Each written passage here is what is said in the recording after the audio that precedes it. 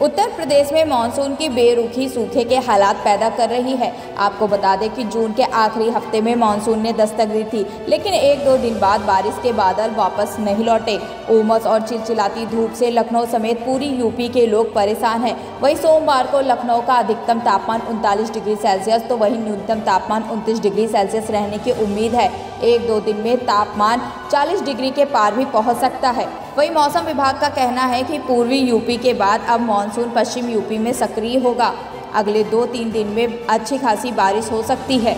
आपको बता दें कि लखनऊ में एक सप्ताह यानी 18 जुलाई तक तेज़ बारिश होने की कोई संभावना नहीं है। तो वहीं रविवार को आगरा, मुरादाबाद, अयोध्या, संभल, बरेली, अमरोहा, श्रावस्ती, सहारनपुर, रामपुर, इटावा में हल्की बारिश हुई थी, लेकिन सबसे अधिक बारिश आगरा में हुई।